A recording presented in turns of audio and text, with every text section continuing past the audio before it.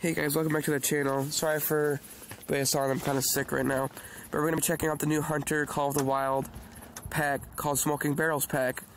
And the first gun I'm gonna show you is going to be the musket. It's a Hudzik 50 uh, caliber bolt uh, musket.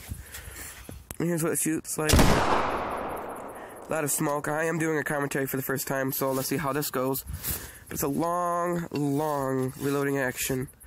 And sometimes that I've had this glitch before where it doesn't reload animation, but it doesn't actually reload. Hopefully fix that. But it does kill bison in one shot, and it does go through two lungs at a time, so gotta get the right shot on it. And you've got Minié balls, which are pretty much like the pointed tips, and then you've got normal musket balls, but I like to use the Minié balls. I think that's what they're called. Now this is the M1 Garand, they have a weird name for it, veteran skin, so it's like the actual World War II skin for it. And this, I'm gonna try to get some accuracy on this. It isn't like my best try, but I'm just gonna get some shots fired off of uh, on it.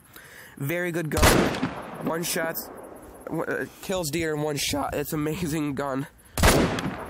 And then I'm just gonna fire it fast as I can right now.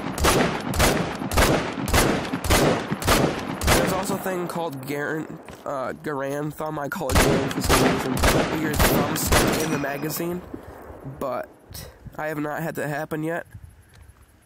But that's a really good gun. It shoots 30 60s, I think, and I have polymer tips on that one. Now this is the 1891 10 gauge lever action shotgun with a maximum of three bullets in its uh, in like in the shotgun. And I have slugs on it. It is amazing. Bison Hunter. I got to either one or two shots on it.